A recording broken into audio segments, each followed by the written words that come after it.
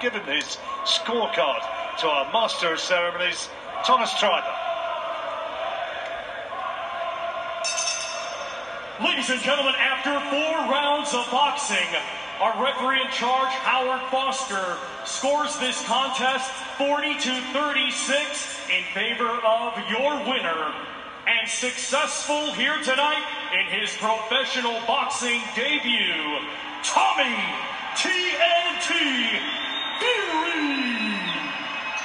good night works, work done for Tommy Fury.